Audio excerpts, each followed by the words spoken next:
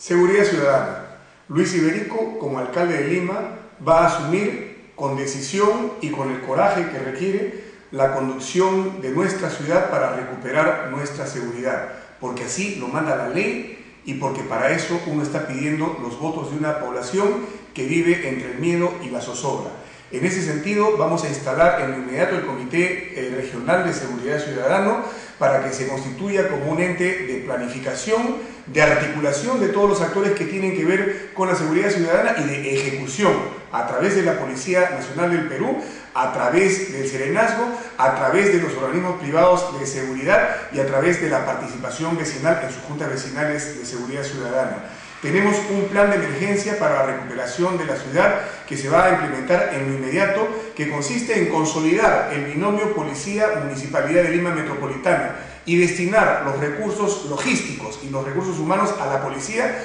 para que pueda volver a patrullar la ciudad y a golpear de manera consistente y sistemática los puntos críticos de la ciudad. Usted, vecino y vecina, sabe dónde venden drogas, usted sabe dónde chocan las pandillas, Usted sabe dónde asaltan y dónde cogotean, pero nadie hace nada al respecto. En ese sentido, nuestro programa Policía Metropolitana va a servir para patrullar, para golpear esos puntos críticos y en el corto plazo recuperar la seguridad. Pero todo esto tiene que estar articulado con dos responsabilidades inmensas que tienen las autoridades municipales y que no están siendo materia de debate. El desarrollo de las economías locales, que nosotros lo vemos principalmente como el desarrollo de las economías populares para dar trabajo y oportunidades especialmente a los jóvenes, y la educación, que es una responsabilidad que pensamos asumir para generar jóvenes con capacidades para poder generar proyectos de emprendedores y también con una alta escala de valores, que es lo que tanto requerimos reinstalar en nuestra juventud.